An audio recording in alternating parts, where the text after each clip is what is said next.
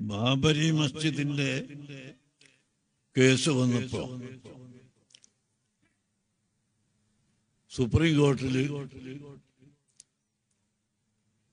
നമുക്ക് നീതിയുള്ള വിധി കിട്ടുമെന്ന് കരുതി.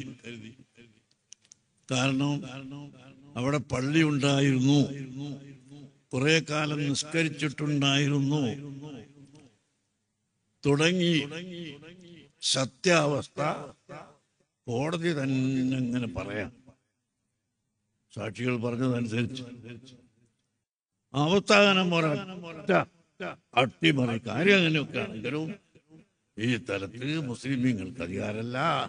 അവർക്ക് അഞ്ചേക്കറ വേറെ എവിടെയെങ്കിലും ചാവിടിക്കാൻ കൊടുക്കാൻ അങ്ങനെ. അതുപോലെ ഇപ്പോഴും ഒരു ഹിജാബിന്റെ വിധി വന്നു. ഹിജാബിനെ സംബന്ധിച്ച് ആദ്യമെല്ലാം കോടതി പറയുന്നത് കേട്ടാൽ അതെല്ലാം പണ്ഡിതന്മാരുടെ നിയമമനുസരിച്ച് വിധിക്കണം നടത്തണമെന്നൊക്കെയാണ് ആദ്യത്തെ വാചകങ്ങളൊക്കെ കേൾക്കുക അവസാനം പോയി ഹിജാബ് അത് ഇസ്ലാമിന്റെ വിധിയേ അല്ല. എന്ന് ആരാണ് പറയുന്നത്? ഖുർആനെ പറ്റി ഹദീസിനെ സംബന്ധിച്ചും ഫിഖിനെ സംബന്ധിച്ചും പരിചയമില്ലാത്ത ജഡ്ജിമാര് പറയുന്നു.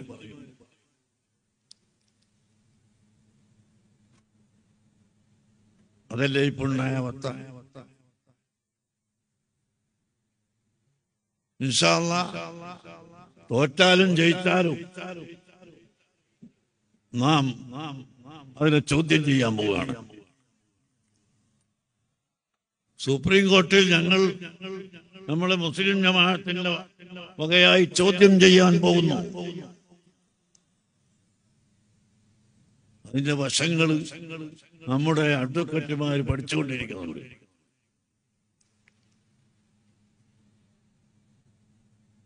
അലഹമില്ല ഇപ്പൊ നമുക്ക് മതപണ്ഡിതന്മാരായ അഡ്വക്കറ്റുമാർ കൂടി നമ്മുടെ കയ്യിലുണ്ട്.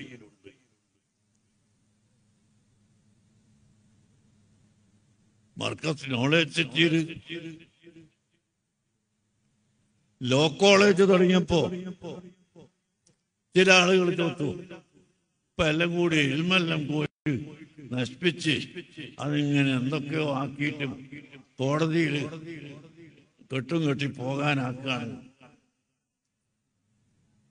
ഷെറായി എന്ന് പറയുന്നത് ഒന്നൊന്നും ഒഴിവല്ല. ഷെറായിനൊരു നിയമമുണ്ട്. അത് പറയാൻ നമുക്ക് ആൾ വേണം. വെറുതെ കുപ്പായോട്ട് പോകാനല്ല.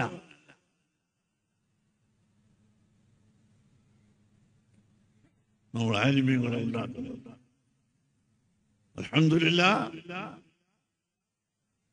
ഇന്നലെയും ഇന്നും രണ്ടു മൂന്ന് ദിവസമായിട്ട് നമ്മളെ മർക്കത്തുനിന്ന് പഠിച്ച കുട്ടികളും അല്ലാത്ത എറണാകുളത്തുള്ള വലിയ ഒന്ന് രണ്ട് വക്കീലുമാരും ഡൽഹിയിലുള്ള ഒന്ന് രണ്ട് വക്കീലുമാരും എല്ലാം കൂടി ചേർന്ന് ഇത് പഠിച്ചുകൊണ്ടിരിക്കുകയാണ്.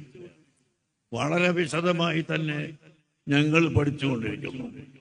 ജയിക്കട്ടെ തോൽക്കട്ടെ അത് വേറെ വിഷയം. സംഗതി പറയാതെ നോക്കിയില്ല ഹിജാബ് ഇല്ല നാരാണ് പറഞ്ഞത്? ഖുർആൻ നോക്കി ജഡ്ജിക്ക് പറയാൻ അധികാരമുണ്ടോ?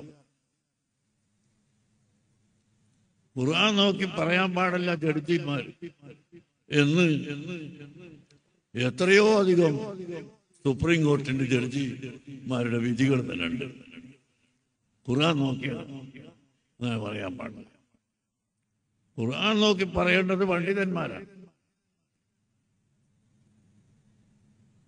ഇവിടെ ഇന്ത്യ രാജ്യത്ത് മുസ്ലിം ഭരണമുണ്ടായിരുന്ന കാലത്ത് ഔറംഗസീബിന്റെ കാലത്ത് കോടതിയിലേക്ക് കൊണ്ടുപോകാൻ ഫത്വകൾ ശേഖരിച്ചുകൊണ്ട് ഇവിടെ രേഖപ്പെടുത്തി വെച്ചിട്ടുണ്ട് ഫതാവ ആലംഗീരിയ എന്ന് പറയുന്ന ഫത്താവ.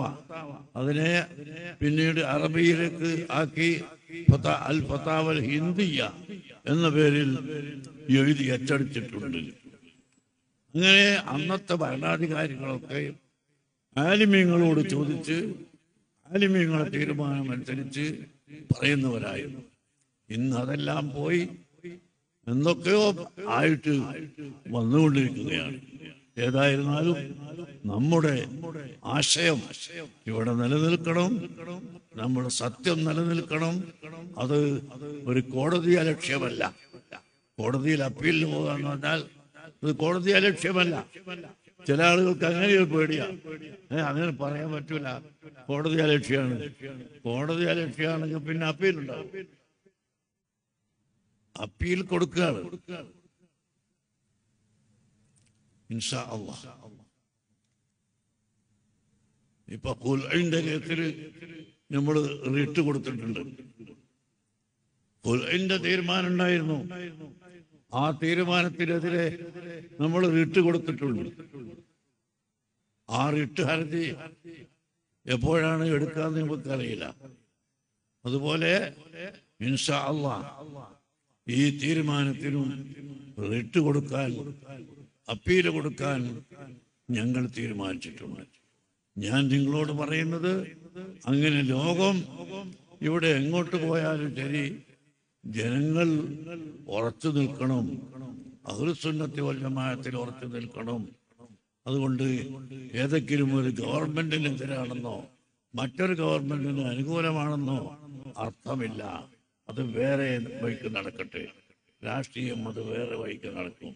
നമുക്ക് നമ്മുടെ ദീനിന്റെ വിധി ഇന്നതാണെന്ന് എല്ലാ തലത്തും തെളിയിക്കാനും പഠിപ്പിക്കാനും നമുക്ക് കഴിയണം.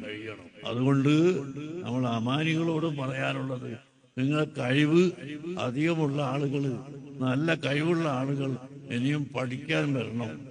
പഠിക്കാൻ നോക്കണം. നിങ്ങൾക്ക് വക്കീലാണെങ്കിൽ വക്കീലാവാം. നിങ്ങൾക്ക് ഡോക്ടറാവണമെങ്കിൽ ഡോക്ടറാവാം.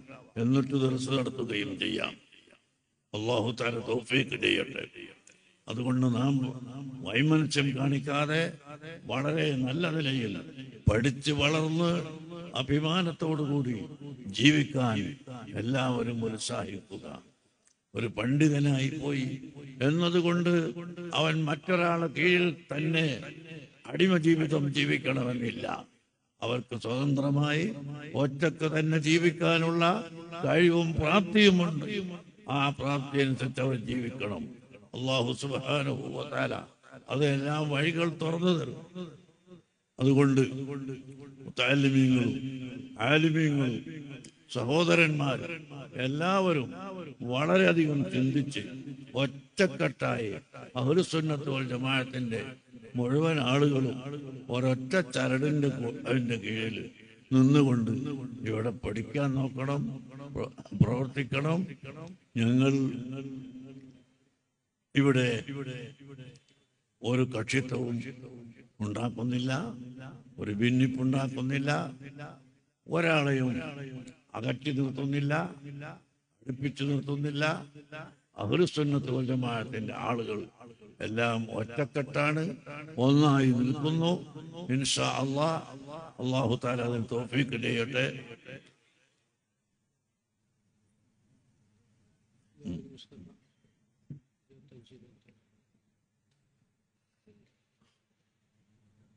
പരിശുദ്ധ റമദാൻ മാസം അടുത്തിരിക്കുന്നു. ഷേബാൻ പകുതി കഴിഞ്ഞു. ഈ റമദാൻ വരുമ്പോഴൊക്കെ നിങ്ങൾ എല്ലാവരും നല്ല ഒരുക്കങ്ങൾ ഒരുങ്ങണം. വിവാദത്തിന് വേണ്ടി ഒരുങ്ങണം. എഴുത്തിക്കാഫിരിക്കാൻ ഒരുങ്ങണം. കച്ചവടക്കാർ കച്ചവടം നിർത്തിക്കളയണം എന്നർത്ഥമില്ല. കച്ചവടം ചെയ്യണം കൃഷി ചെയ്യണം തൊഴിലെടുക്കണം. എല്ലാം എടുക്കുന്നതോടുകൂടി റമദാൻ മാസത്തെ പ്രത്യേകമായി സ്വീകരിക്കുകയും പ്രത്യേകമായി അതിനെ കൊണ്ടാടുകയും ചെയ്യണമെന്ന് ഞാൻ നിങ്ങളോട് അറിയിക്കുകയാണ്. അള്ളാഹു സുബാനഹൂവത്താല തോഫിയൊക്കെ നൽകട്ടെ.